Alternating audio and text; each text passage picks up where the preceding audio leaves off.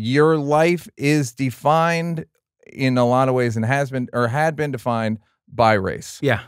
Your mother was a black South African and your father was a Swiss white man. Yeah, they still are. Great. And they were also. Yeah. Um, and you were born a crime, hence the name of the book. Mm-hmm, mm-hmm. Your life has been defined by race, but I also find that you're kind of bored and or disinterested by it. About what? My life? Race. No, about race. No, no. I, I think bored is the wrong the wrong w- word for it. I think I don't think um, bored's the right word, but I, do you know what I mean? Like Yeah. your feeling about it is like, uh, No, okay. So here's how I'll put it. it. It's funny. It's like I think I think everybody's life is defined by race, but I think I was unlucky or lucky enough to have it like put it. to in. know it. Yeah, to like know it. You know, I think a lot of people don't know that it's happening to them, um, for good or bad. Funny enough. So I think people are living in a world where, you know, there's there's it's like like I always I, I try and explain to people as I go, um, being the race that you are is like having a, a badge, you know, like like those doors that you have at companies to let you Yeah. indoors. You know what I mean? Those little badges that you go and Yeah. And then some people don't understand why their badges aren't swiping the but they don't know they have the badge. Right. Does that make sense? Yeah, it's a so- fob that they don't yeah, know they have. yeah, on and then some people are just like, "What are you talking about? The door opens all the time." And then other people are like, "The door doesn't like me." I think it's, I think it's, um, yeah, I think it's omnipresent. I think it's continuous. Um, I also think it's ridiculous. That's maybe my uh, my favorite thing about race.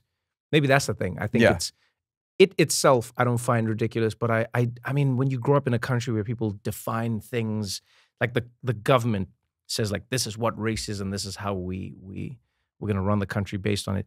You start to realize how stupid the whole thing is. Do you know Yeah. what I mean? yeah. Like you're one tan away from not having a good time. That's basically what South Africa was back in the day.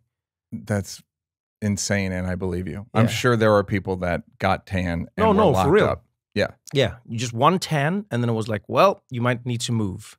or stay inside, and you couldn't go outside at times. Yeah, but right? I didn't know. I didn't know. So I don't. I don't have. His grandmother, according to the book and according Yeah. to what you've told me, would explain the law to people. Well, this. So it was weird. So okay, just it's it's really simple. You go, a country is run by some very racist people.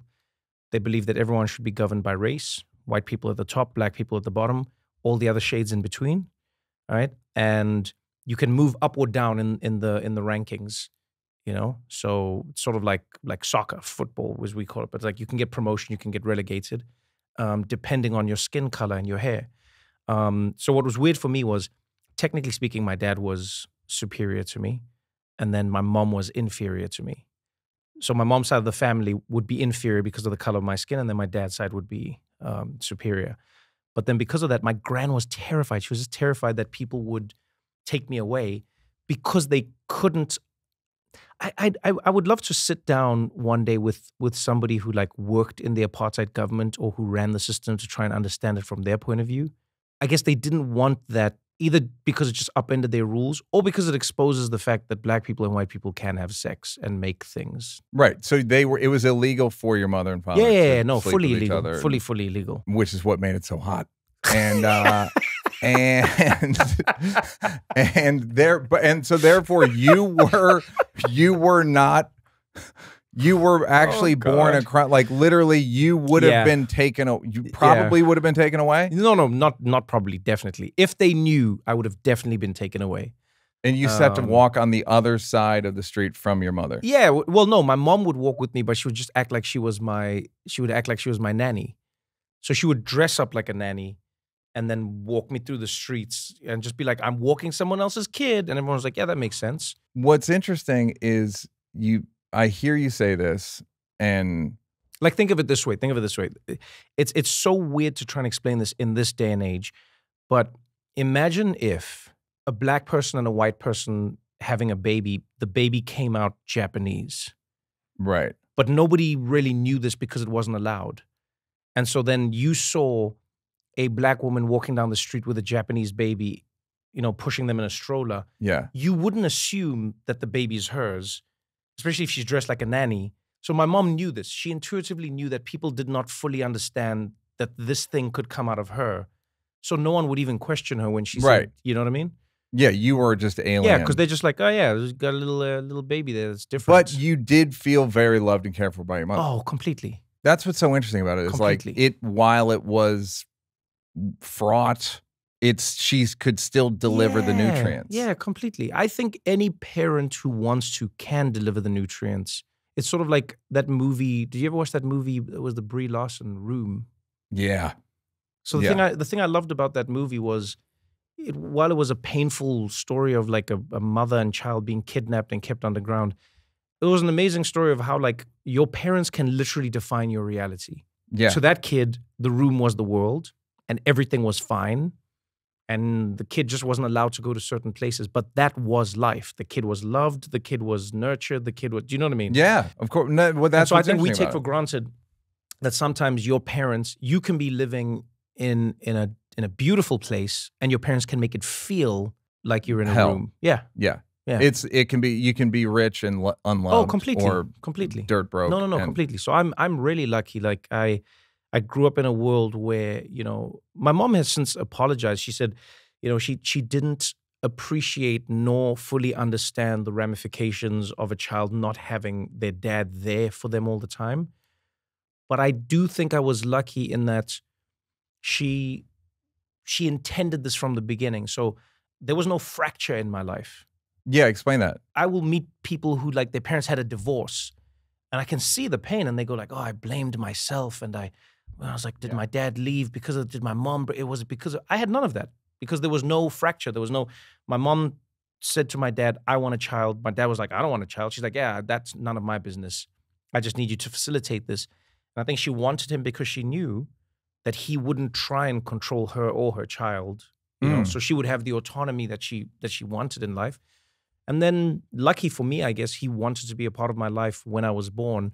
But even then, my mom was like, "We had a deal, buddy. What do you mean you want to see the kid?" And how did she deal with it? Like it, whenever he. Eh, She was she was like kind about it, but she was very much like, "You do understand the deal. This is my child." And he was like, "Yeah, but I want to see it." She was like, She "Oh." like smacked the agreement right here, buddy. I don't know what to tell you. "You signed on the page. He's page. right there. There, look at him. You Yeah, signed on the page. You can look, but don't touch." yeah, touch." yeah. No, no, no. She was um you know, my mom has an innate understanding of things that she was never taught. And that's something I've always admired in her. And I think she innately understood the value of me seeing my father and being with my father, even if that wasn't the original agreement. So I spent, you know, a lot of time with him. And the time that I spent with him was focused and concentrated. So I don't even have, again, there's some memories like you've got a great joke about it where you say like your father would disappear into a book. Yeah, yeah. know? It's, yes. But it's like just this idea of like I know people who talk about their parents and they go, "Oh yeah, my dad was never really even when he was around, he wasn't around and he was working on things and he was tired and he-" no, my dad was full on like door opens, locked in. Yeah. You like we were hanging out. Very Swiss motherfucker. Yeah, we we we're watching Formula One. Yeah. All right, we we we we're hanging out. We're eating food. You want breakfast? You want lunch? All right, we're gonna play with your toys. You're gonna see your toys. You like your toys? What's would happening? Point at you the whole time. What's happening? What's happening? Fuck. I'm sorry. Um, okay, and then it did get a little dicey though. At a certain point, your mother, uh, beyond the government looking out for you, Yeah, yeah, yeah. yeah. uh, trying to pick you up off the street, your mother remarried. We'll say poorly, yeah, yeah. and uh, it was violent. It was indeed. That's probably the reason we're friends. That's probably the reason we get along. If it if it wasn't for that decision, I may have just had like a You'd like be a- with a Dave and Chris right yeah, now. I'd just be like a, a super rosy outlook, and Yep. I'll just be like, you know, I don't I don't Have get you that, seen that Neal guy. It's a little. It's a little. It's I a don't little get him. much. There's Little- something there's something about it. somebody him get. heard uh, someone walking out of blocks and he goes, uh, "Yo, my man got a little too introspective." um, but, but- so, but we have talked about the role that violence has played Yeah. in. Uh, There's no uh, uh, comedian. There's no comedian. I believe there is no comedian who is very good at what they do and did not become very good at what they do because they were avoiding or you know what I mean. There's there's either there's a neurodivergence involved mhm. or a neurodivergence multiplied by some sort of trauma. Yeah. You know, so you were bullied, you were abandoned, you were beaten, you were shamed, you were whatever it is. It's like those are the two ingredients to make like really, really good Yeah. comedy. Which I don't know. I'd love your thought on this. I I've been thinking recently, I go, what is the value of an individual being tortured if they're going to bring joy to many people. Oh, you mean it didn't work? We jammed the No, system. no, no, no, no. I mean, I mean, like, I mean, like, what is like? Is there a value or? So, for instance, we live in a world where we go, we don't want anyone to be hurt, and we don't want anyone to live a tough life, and we don't want anyone to. But I sometimes think to myself, if one child growing up in a horrible world Yeah. becomes Mozart, and that music then goes on to like make the world a better place, is it is it worth it? Was it worth beating little Mozart? Yeah, Of course, you know I've thought about this. yeah. Of course, you I had to have thought about this. Uh, it's a collateral damage thing. It's it's similarly like bombing the area for to fight terrorism, and you take out some civilians. No, no, no, I- no, no, But it's the No. same logic No, of it's that. not. No, it's the not. greater good is served. Yeah, but that one doesn't have a greater good. Choose No, no, no. another one. Choose a- Uh, you're the best at analogies. Okay. Choose another one. I don't like that one. It's like if you beat Baby Mozart. but no, it and and then he. Uh, what I would say, I would say it's kind of worth it if Mozart can give us the compositions Yeah. we need, yeah. and then he gets better and doesn't, because that's the situation I think I'm in. In that, like, I took my beating. I wrote my jokes. Yeah. I did a bunch of stuff to feel better, and now I feel better. And I wrote the jokes, and I can still write them. Yes. Hey, did you like that? Did you like that? Yeah, did you like it though? You want more? Don't want to work? Would rather watch videos of me grab assing with people? First of all, go up here to subscribe, and then go up here to uh, watch more clips. This is like when the weatherman says that there's a high pressure system coming in. I'm not really used to the green screen.